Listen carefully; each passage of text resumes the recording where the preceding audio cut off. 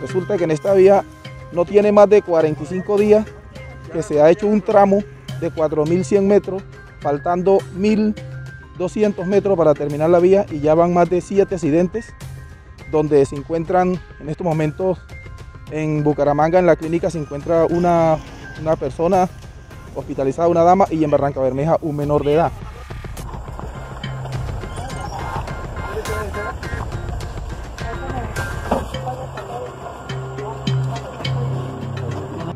Bueno, el mensaje que yo le envío a los motociclistas y a todas las personas que por aquí transitan por esta vía es que no mezclemos la gasolina con el alcohol. Manejemos con precaución.